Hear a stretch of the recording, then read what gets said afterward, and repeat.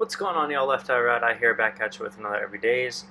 Uh, today I um, did a little signal generator triangle wave. Uh, didn't know what I was going to do at first, and I just started cutting it up.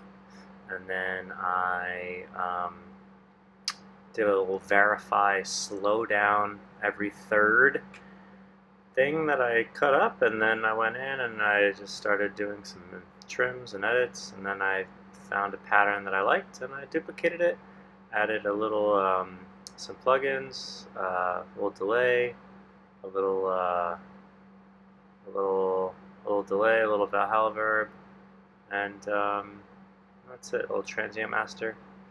You'll hear it in a sec. Uh, enjoy the rest of your night. God bless.